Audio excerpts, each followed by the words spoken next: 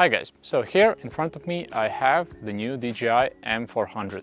This is a brand new drone in, uh, in the box still, as you can see. And so in this video, we're going to be doing the uh, unboxing of uh, this drone. So we'll show you what comes with it, as well as show you our first impressions and also do the comparison between the M400 and the M350 drones.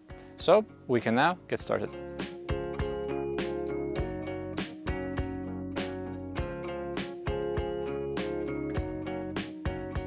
You can definitely feel the weight of this because I believe this should be the drone without the battery, but uh, let's see. So inside the box, obviously you can see we have the drone, we have the remote controller. So now let's take, let's take them out one by one and then see. Now up here you can see you have the uh, landing gear. So this we can already take and put inside the drone. So Again, I'm, I'm doing this for the first time, but since I'm used to doing this for the uh, M300, M350, so uh, this all actually feels quite familiar.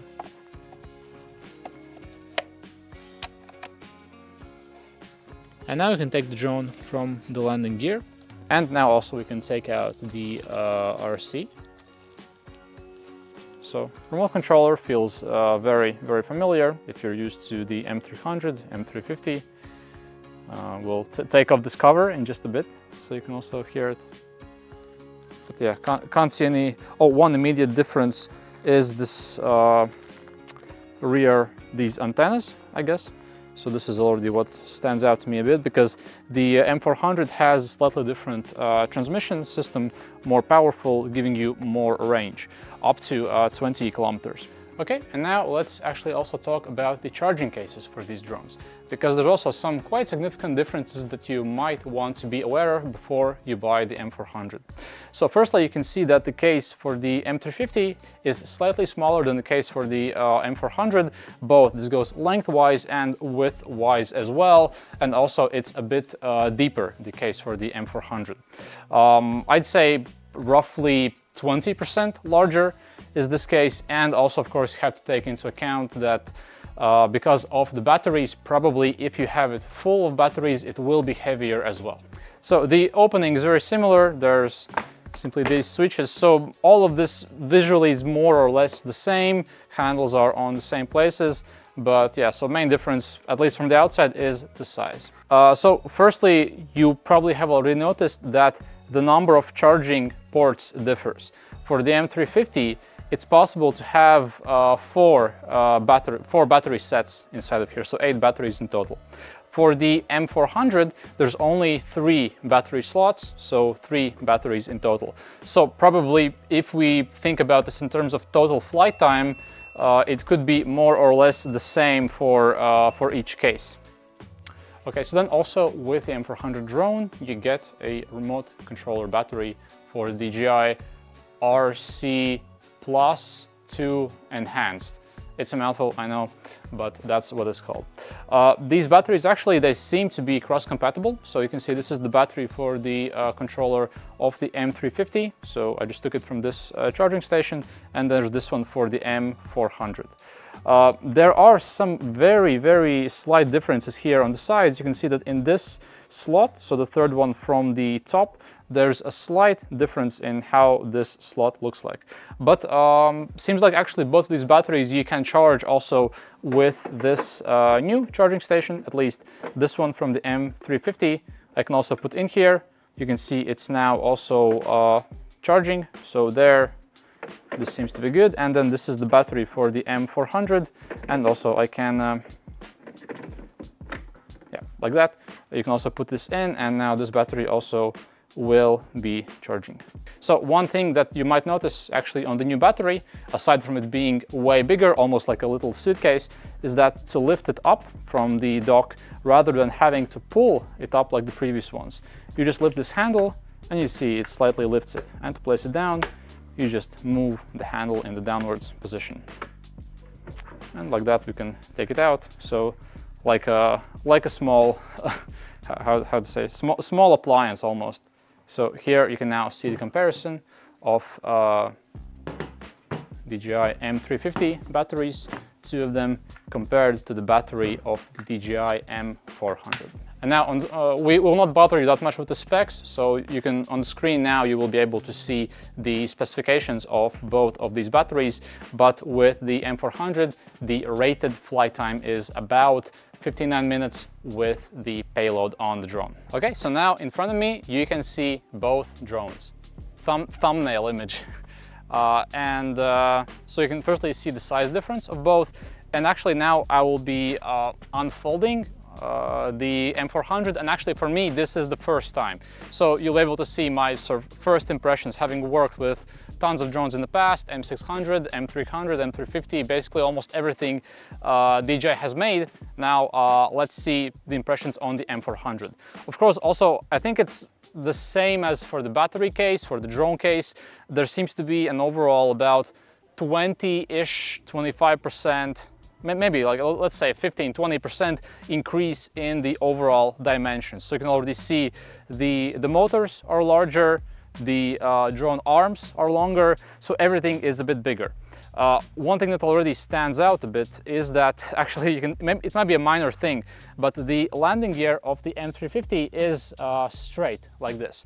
But for the M400, if you would maybe uh, look at it from the top or maybe from that angle, you can also see is that the landing gear, it's not straight uh, like the lines on this case, but they are slightly sort of more open towards the front. And this might be, uh, this is probably intentional by DJI so that the landing gear maybe it's not in the way of the camera, especially if you're using multiple camera setups. That, that's my guess. I might be wrong on that. But that's just one thing which I noticed.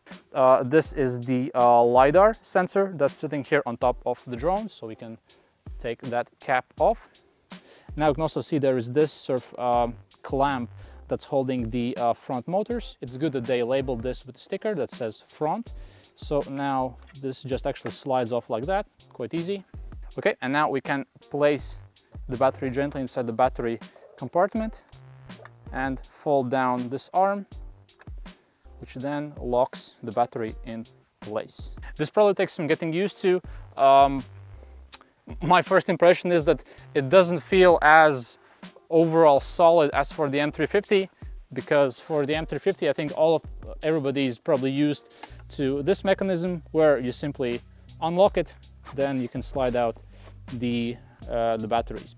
So I think this is really good uh, design about this I think people will need to get uh, used to because for example the battery on top of the drone it sits slightly higher than how I would think it should be it's also interesting to see how it will fare over time, so how well it will uh, keep working once this drone is no longer new. But uh, I guess one thing that is that is safer for this design is that when the drone is in the flight, the battery can't really accidentally fall out which I know for the M300s, I believe before they had this locking switch, you could have forgotten to switch it and batteries could come out. Uh, but on this one, battery will stay put no matter what you do. So I think that's definitely, definitely a welcome improvement as well. So this feels very, um, very familiar, having done this a lot with M300. The propellers, they do seem uh, more shiny than the ones on M350. This could be just because they're new, but they do feel like they're made from slightly different material, I would say if we take this, uh, I'm not sure what's the proper term for this, uh, it's not wingspan, but propeller span, or essentially this sort of maximum distance of how far they go, uh, this does seem to be significantly uh, larger than the uh, M350. So now we can also unfold the arms on M350. So these connectors, they do feel like they slide on a lot faster on the arms of the M350 and there you go. So these are these two drones uh, side by side. Let me turn the M350 around. And actually now let me try to see how easy it is to rotate the M400. And yeah, as, as you would expect, it, it does feel uh, significantly larger, significantly heavier. Um, at least you can definitely feel it. Okay, so now you can see uh, beside me both of these drones again, but now they're on the ground with arms unfolded, batteries put in, the M400 and the M350. Um, I can say that at least from first impressions, the M350 does seem a lot more utilitarian, easier to assemble, easier to set up. Um, It's also way lighter, but of course the flight time also reflects uh, the weight of the drone to some extent. And this one you can, you can really feel that it is heavier, but then again, it is able to carry heavier payload up to around six kilograms, I believe. And also, of course, it is capable of flying further and flying for longer. Uh, I would say if you're looking for a drone that is easy to transport, uh, the older M350 is probably still better for that. But if you're looking for something that allows you to fly for longer, to carry heavier payloads, then of course the M400 is a very good upgrade for that, I would say. So now, first, most important thing, the ASMR of removing the screen protector.